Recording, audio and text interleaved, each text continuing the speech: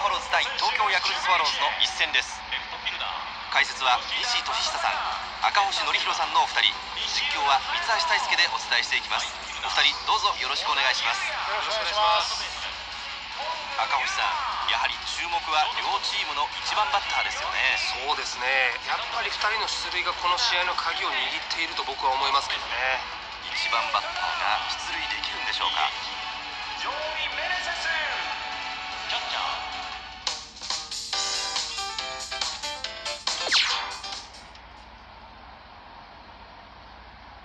ちょっとホームラン打バッターボックスは3番村上。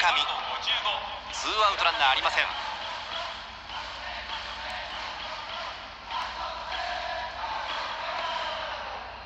さあ初球は何か。ちょっとすっぽ抜けた感じです。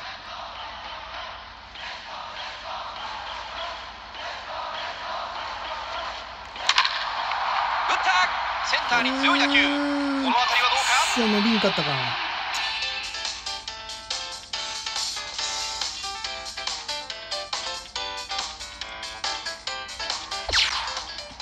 ダメだなこれから4回スワローズの攻撃です。一方バファローズは早すぎね。ピッチャーが変わります。澤田がマウンドに上がります。ここはきっちり抑えてリードを守りたい場面となりました。村上がバッターボックスに入ります。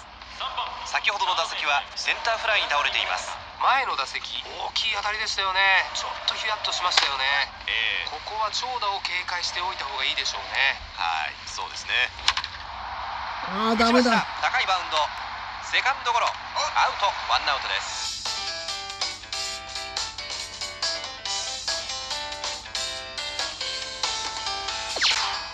これから6回スワローズの攻撃です。そしてバファローズはピッチャーがまた変えるか。何やねんバッターは村上。先ほどの打席はセカンドゴロに倒れています。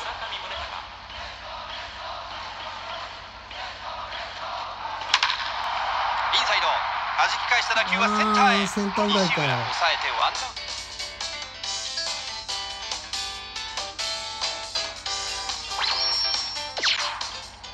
いやこれちょっとチャンスさだし勝ち越しのランナーを背負った場面ですこの回での勝ち越し点は阻止しないといけませんね。なるほどそうですね。さあそのマウンド上の斉藤この状況にどう対応してくるか。初球いけいけいけよっしゃ。フェンスダイレクト勝ち越しのランナーが三塁を回った。中継にボールが送られるセカンドランナーホームインスワローズホームランがなかったちょっと勝ち越しました悲しいが3対2バファローズさらにピンチが続きます。うーん抑えたかったんですがこの場面で勝ち越されてしまいました。ちょっと簡単にね行き過ぎたかなって気がしますね。この終盤でリードを奪われます。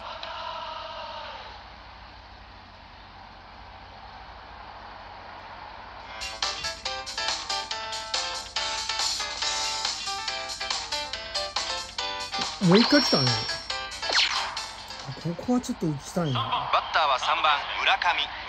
バファローズ連打でランナーを増やしていますさあ点差は離されたくないこの場面。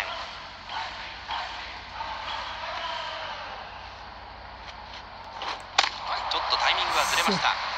中間守備で来てますからどの塁に送球するかの一瞬の判断いけいけいけいけいけ伸びるライトの深いところ落ちたボールは中継。サードランナーホームインバッターランナーは二塁まで進みました。スワローズ追加点を挙げました。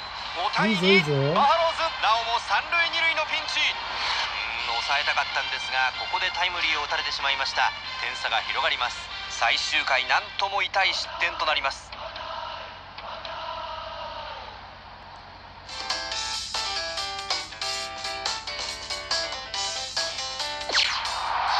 念ながらオリックス・バファローズ敗れてしまいました。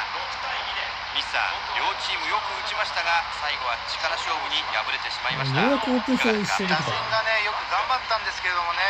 まあ惜しかったですね。そうですね。明日に期待しましょう。勝ったヤクルトスワローズ。大きな今日は勝利になりました。